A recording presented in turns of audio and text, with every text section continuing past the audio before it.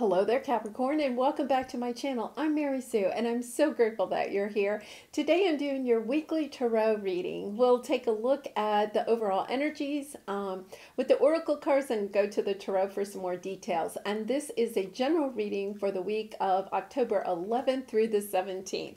Okay, so let's go ahead and get into your reading. And Capricorn, if you're enjoying this um, message or resonating with it, then I would really appreciate it if you would consider like, sharing, or subscribing. Okay, message in a bottle. This has been coming out a lot lately. I mean, it is, um, you know, retrograde season. Something from the past, somebody from the past could be reaching out to you, and there's going to be a huge decision. Um, yeah, they're they're sending you a message, and it's kind of like asking you a question. so let's see if we can figure out what that question is. So let's go to the tarot. Um, you know, the message in a bottle always seems to me like, you know, it's something from the past and we are in the retrograde season. But um, it doesn't necessarily mean that it's, you know, bad, right? Or, you know, it's just a message. So let's see what we have here. Okay, yes, Ace of Pentacles. Somebody is coming in with an offer. Um, there, it's a true, um, it's a, it's either so this message is either somebody is going to give you some truth or they're going to give you some information. And with this information, you may need to make a decision about how to progress forward.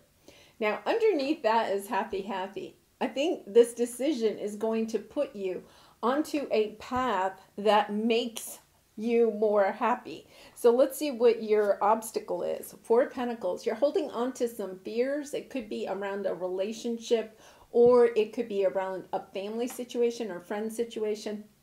The Four of Pentacles to me is usually a relationship, but it doesn't have to be. It could be a work situation because it is Pentacles. But it's um, a sense of holding on to some fear, kind of concerned about what this message is or how this truth is going to affect you. Um, so it could be, you know, like at work. You could get, you could hear okay uh, that there's going to be some layoffs or something like that and then you know you're kind of like fearful. How's that going to affect me? That type of thing. Okay, now your advice is Six of Swords. Move on. It's kind of, um, I do feel like this information is going to help you to go on a path where you actually move on. You know, the fork in the road is kind of like you're sitting there in the middle of your path and there's two ways to go. Like you get this information and then it's kind of like, okay, now, am I going to continue on this path or am I going to go in a different direction? I actually get the sense that when you get this information, it's kind of like you stop in your path and it's kind of like, I need new options.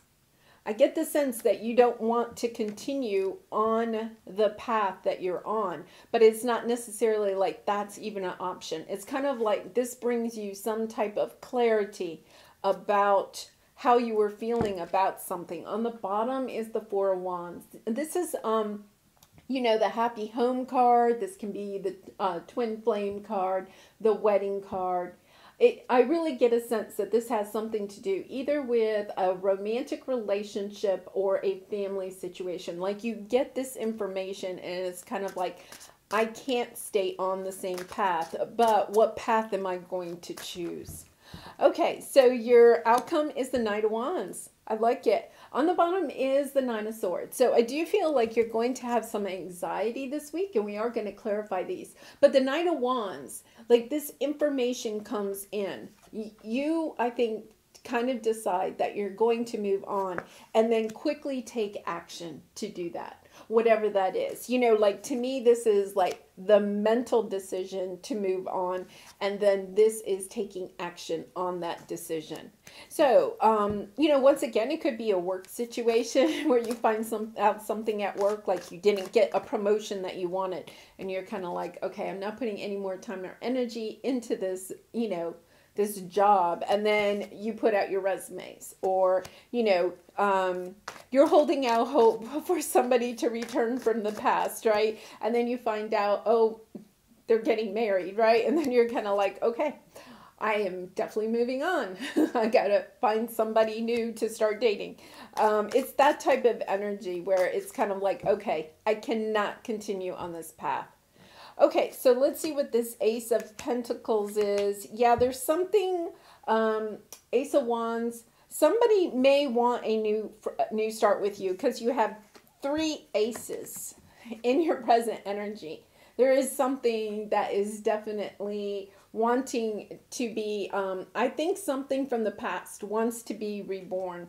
Um, you have the Ace of Pentacles, the Ace of Swords, the Ace of Wands. Somebody wants to work it out with you, try to perhaps get over some past drama.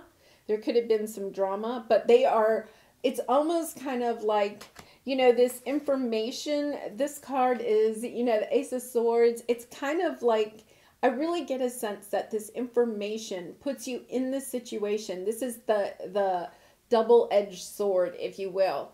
Like your decision is going to change both like I think your life and the person that is giving you this information. So, for instance, say it is somebody coming back from the past and wanting to, you know, reunite with you. Your answer is either yes or no right? I mean, it's just kind of like you're kind of I I feel like you're you're almost clear cut about it. Um, about how you need to proceed. It's almost like it's a moment of clarity for you. And um, it's um I, I I honestly get the sense that it's like yeah whatever it is it's cut and dry and then you move on so let's see what this four of pentacles is we have the Emperor, the Ace of Pentacles, the King of Cups, Six of Wands. Once again, I think you're holding on to some fear, perhaps some hope. Um, it's kind of like, oh, they just said you're on the fence about something. You're on the fence. Really interesting. You're kind of like on the fence about this relationship like perhaps you're on the fence because I see two scenarios. You're either on the fence about whether you want this person back or not. And then you're also on the fence because you know, we have the Emperor and the King of Cups here. The Emperor is very different than the King of Cups. The Emperor is a sense of like controlling, okay? Um, you know, uh, not extremely nurturing. He's a, to me, he's not a, and I'm just saying he because it's an emperor. Gender doesn't matter, but you know, not a very. Um, it's kind of controlling. And then you have the King of Cups, who is you know somebody that is very emotional, but can also contain their emotions and express their emotions in a healthy way. And then in between, we have the Ace of Pentacles. It's almost as if you are hoping or you are on the fence about who to take an offer from. Wow, Capricorn. really interesting. You could be um, getting ready to an ex- uh, to uh, accept an offer from one of these, right? And then all of a sudden you hear from somebody from the past. I really do get this sense that it's kind of like stops you in your tracks. I get the, uh, the feeling that it's something that stops you in your tracks. And you know that whichever path, I mean, this is always true, but it's kind of like it's a clear cut. Like you can't be on the fence anymore. I get the sense that you can't be on the fence anymore. You have to choose. You have to choose which direction you want to go in you know you have to choose somebody that is really business savvy um, perhaps wealthy you know or you know this is somebody that's a little bit more um, you know creative more emotional you know it, it, the emperor can hold their emotions you know they can uh, have a poker face right and the king of cups can express it and it's like a, I feel like you have an offer, but then it's almost like you get an offer for from somebody else, or it could be that you get an offer from one of these, but you're holding out hope for an offer from somebody else. Um, a really interesting. Capricorn, there's definitely more than one um, one person that you're kind of like dealing with here. Okay, so let's see what the Six of Swords is. Oh, Nine of Cups are on the bottom. Okay, so once again, we have the Six of Cups. I think somebody from the past comes back. You know, they want to make progress with you. You may be feeling like, hey, I've made progress getting over them, you know, going in a new direction. Um, Six of Swords is moving on. A sense of wanting to move on from something from the past. You might be thinking you want to move on to something else. Like one of these could be the person from the past. And you're kind of like, but what I really want is the other one. Like maybe the person from the past was, you know, extremely emotional and you were kind of like, no, I want somebody that's financially secure or vice versa. And it's kind of like this energy of deciding, you know, what which what is it that you want? For some of you, I think you're going in a new direction with the Fool card. Like this message comes in. You could be um, with one of these, right? And then uh, you get this message and you're kind of like going in a new direction. Okay, let's see what this Knight of Wands is. Four of Wands on the bottom, wanting that strong foundation. That is the wedding card, twin flame card. You're doing a lot of heal healing um, over the anxiety that, you know, a Knight of Cups. Uh, somebody's coming in and expressing their love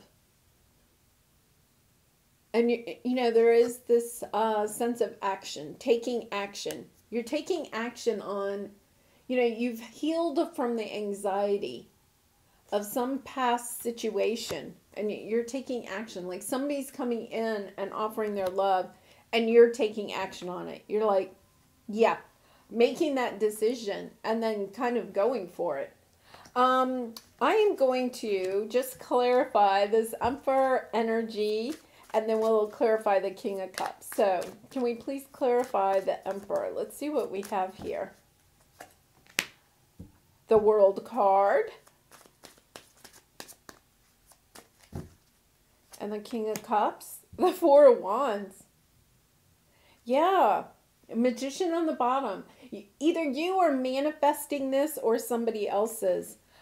Um, okay, with the Emperor, you have the World card. This is like an ending you know, um, ending out a cycle with whoever the emperor is. Um, and then with the King of Cups, we have the Four of Wands. You know, celebrating, celebrating this, this love, this emotional attachment. You know, I I'm getting the sense that that's exactly what it is. You you have you have somebody here that you don't have a true emotional attachment to, and then you have somebody that you do. And I get, you know, it it kind of is playing out that this is the person that comes back and offers their love. And you're kind of like, okay, well, I, I, it seems like you're saying, okay, let's go. Because this is not, you're ready to close this out. You may not know how, but you're ready to close it out. You may have been waiting because you have the only one that you're missing, I mean, the only ace that you're missing is the Ace of Cups.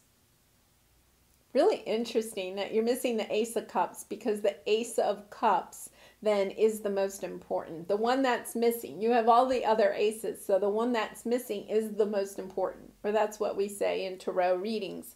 So the Ace of Cups is missing, and I feel like this person is coming in. Now, the Ace of Cups would mean a new love in a way, but I think somebody from the past is coming in. And, you know, with the Knight of Cups, this is a true expression of love.